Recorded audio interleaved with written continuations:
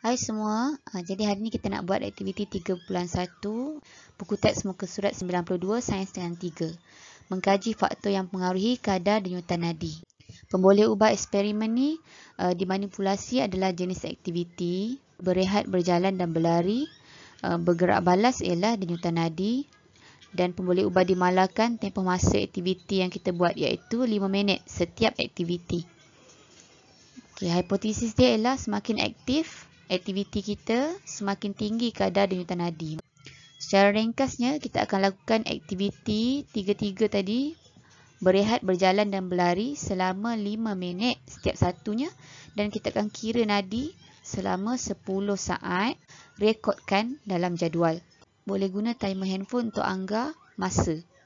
Cara ambil bacaan nadi adalah seperti dalam gambar ni di uh, pergelangan tangan. Okey, aktiviti yang pertama ialah berehat. Kamu berehat je selama 5 minit. Selepas habis 5 minit, kamu kira nadi. Kira nadi ni selama 10 saat. Guna timer juga. Kemudian record berapa nadi. Contoh saya bagi nadi 14 dalam tempoh 10 saat. Jadi yang sebelah sini ni per minit. Disebabkan 1 minit adalah 60 saat. Yang ni adalah 10 saat. Jadi bacaan yang kamu dapat darab dengan 6. 84 contoh eh. Seterusnya kita buat aktiviti 2 iaitu berjalan dengan perlahan. Berjalan perlahan selama 5 minit. Lepas dah habis 5 minit, kira nadi selama 10 saat. Sama juga. Okey dan rekodkan. Uh, contohnya 20. Contohlah eh. Jadi 20 ni pun darab dengan 6 juga. Dapatlah 120. Aktiviti yang ketiga.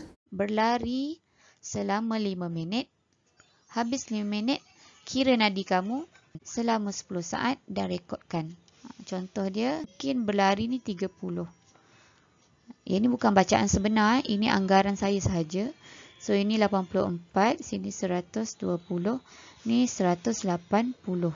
Ha, darab 6 eh. Darab 6 untuk dapat bacaan per minit.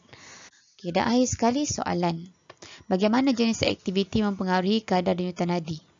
Okey, uh, kalau ikut hipotesis dia, kamu akan dapati semakin aktif jenis aktiviti, semakin tinggi kadar denyutan nadi. Maksudnya antara tiga aktiviti, berlari itulah yang paling tinggi kadar denyutan nadi. Uh, bagaimanakah peningkatan denyutan nadi semasa aktiviti aktif dihubung kaitkan dengan kadar pengambilan oksigen dan pembebasan karbon dioksida?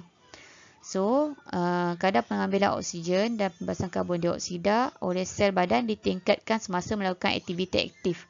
Sebab waktu aktiviti aktif kita perlu banyak tenaga. So, untuk hasilkan tenaga tu, uh, sel kita perlukan oksigen untuk hasilkan tenaga. Respirasi sel kan. Dan waktu yang sama dia bebaskan banyak karbon dioksida dan ambil juga banyak oksigen.